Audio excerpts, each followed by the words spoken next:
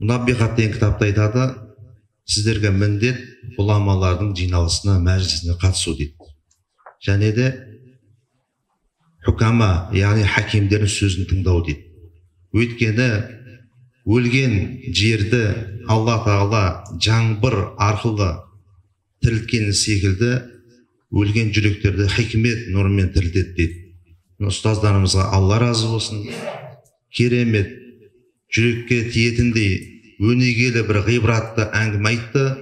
Алла тағала иншалла сіз бізге амал қылуды нәсіп етсін өмірімізге пайдалы қылсын. Өмірде бір қызығатын адам болған болса сондай адамға біз қызығуымыз керек екен. Өмірін алланың жолына арнап шынайы ілім алып ықыласпен тақуалықпен алып одан кейін ілімін іліміне амал қылып ары сол ілімнің зекетін беріп сол алла тағаланың жолына пайғамбарымыз саллаллаху алейхи уассаламның сүннетіне қызмет қылған адамға қызығуға болады екен яғни бір адамға қызығу керек болған болса біз сондай адамға қызығуымыз керек екен. Мына соның бірі ұстазымыз халил дамла алла разы болсын. Мына бұл медреседе оқу біздерге де нәсіп болған екен. Осы медресеге зиярат етіп келдік осы кісімен таныстық. Батасын алдық. Ең бірінші ұнаған жері осы жердің әдебі осы медресенің тақуалығы. Біздерді сонау мынау қазақ елінен алып келді. Және де біз ұстазымызбен біз араласып тұрамыз жаңа өзіңіз айтпақшы хабарласып тұрамыз ұстазымыз біз жаққа келіп зиярат қылып тұрады әулиелерді ғұламаларды. Келмесе сағынып қаламыз ұстаз қашан келесіз? Тезірек келіп бізге насихат айтып кетіңіз мына иманымызды арттырып кетіңіз деп біз ұстазымызбен араласып тұрамыз. Енді дүниенің даңқы не десе дүниенің атағы даңқы ол малмен болса ақыреттің даңқ атағы жақсы амалмен болады екен. Иншалла біз осындай кісілерге ерісек осындай кісілердің етегінен ұстаған болсақ артынан жүрген болсақ яғни айтады ғой кім кімді жақсы көрсе сонымен бірге болады дейді.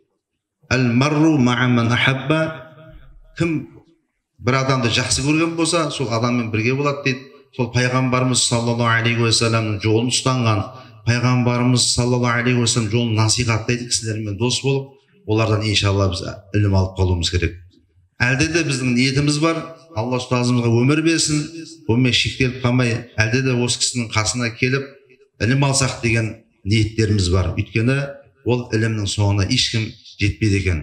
Алла баршаларымызға білім берсін. Және де бір хадиспен сөзімізді аяқтайтын болсақ пайғамбарымыз саллаллаху алейхи уассалам дейді. Ғалым бол.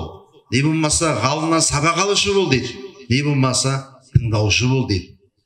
Төртіншісі болмаңыз халақ боласыз дейді. Сондықтан да алла тағала ғалым болуды нәсіп етсін. Ғалым бола алмасақ та сол ғалымдардың сабағын алушылардан болуды нәсіп етсін.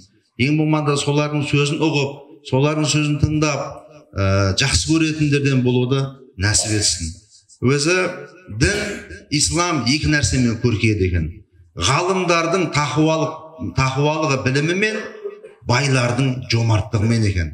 Сондықтан да осындай ұстаздарымыз қолымызда тұрған кезде сол бағалап қолда бар алтынның қадірін түсініп иншалла байлар зекетін беріп осы медреселерге әкеліп міне осы жердегі қаншама балдардың ғалым қари елге жерге үммәті мұхаммед саллаллаху алейхи уассаламға қызмет қылуына иншалла себепкер болып қалуымыз мүмкін. Себепкер болып қалуымыз керек.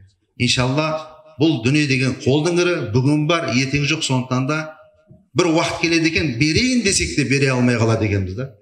Таратайын десеңіз де тарата алмайсыз онсыз да таратылып кетеді. Сондықтан да аллах тағала бізге азды көпті дүниеге берген болса оны пайдалы дейді ғой аятта білесіздер. Сол жолда біз иншалла жұмсасақ деген құдай қаласа ниеттеміз алла баршаларымызға тауфиқ инсап берсін. Мына жиынымыз бір алланың алдында бір қайырлы бір отырыстардан болуды өмірімізге бір пайдалы болуды баршамызға нәсіп етсін. Баршаларыңызға аллах тағала разы болсын.